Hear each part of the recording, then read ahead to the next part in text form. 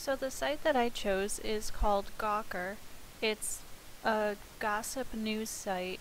So it has it features some stories that are pretty important and mainstream, but it also has a lot of gossip that really it's just kind of more for fun.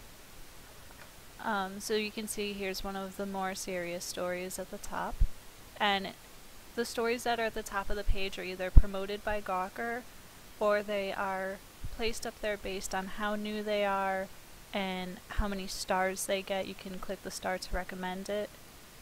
Um, and here's an example of one of their sillier stories, a kangaroo fighting a dog. Um, and there's also this sidebar here so you could see the top stories, you know, without the pictures and the excerpts and everything.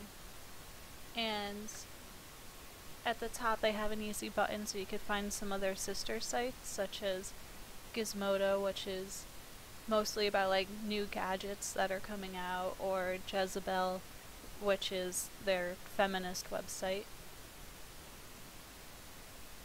And then when you click into the stories they have you know the rest of the articles, sometimes videos and they have a pretty big comment section that tends to be pretty popular. People like it. You can post videos, GIFs, like this fun one, memes. Everything is just kind of, it's just kind of a fun gossip site to keep you entertained.